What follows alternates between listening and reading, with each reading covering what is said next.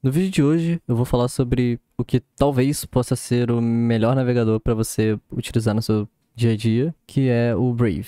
Bem, o Brave, diferente de outros navegadores comuns, ele tem uma única diferença que eu acho muito importante. Diferente de outros navegadores proprietários, o Brave respeita muito mais o seu usuário, com algumas ferramentas de anti-tracking, uh, anti-fingerprint, que é um método que os sites utilizam para saber quem é você, como você usa o seu computador e esse tipo de coisa. A forma como o Brave lida com anúncios é um pouco diferente dos navegadores convencionais.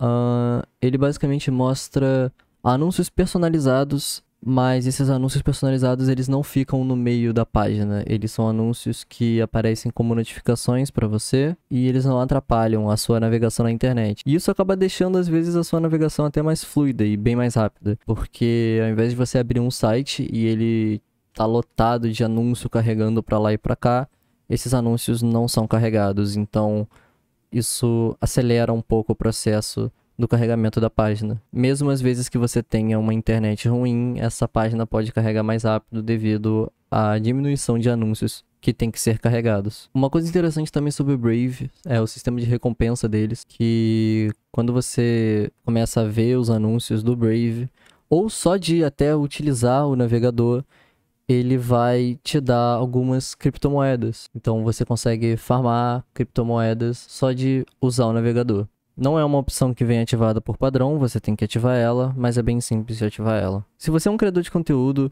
você publicando as coisas no seu website, seja ele um blog ou seja ele no YouTube ou na Twitch, por exemplo, você pode só logar como um criador de conteúdo verificado no Brave Rewards e você vai sim ganhar uh, uma recompensa pelas suas publicações. Então é uma coisa que você não precisa se preocupar também. O Brave ele tá em cima de uma licença open source, então é um navegador que, como eu falei antes, respeita bastante a sua privacidade. E se você quiser checar se alguma coisa que você não gosta ou não concorda está acontecendo por trás, você pode olhar o código e saber se eles estão fazendo alguma coisa que você não concorda.